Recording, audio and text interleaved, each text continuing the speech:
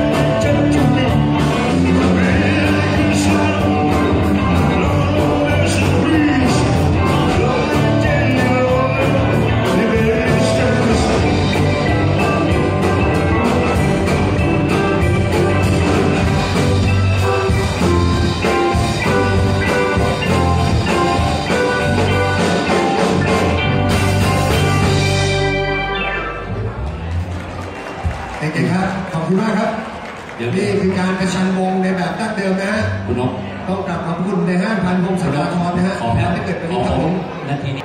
ยังเป็นยังเป็นสบานโอเคครับเซอร์คิวิชาส่งตัวแทนมาวันนี้ พบกับยังสบานผมจะรู้ว่ายังขนาดไหน